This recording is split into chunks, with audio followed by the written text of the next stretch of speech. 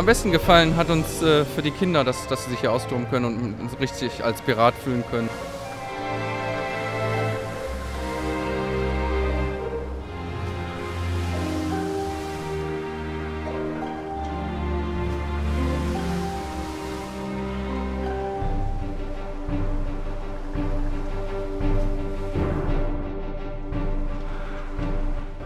Wenn man so will, sind eigentlich meine Kinder schuld, denn die haben mir gezeigt, wie gerne Kinder Piraten spielen.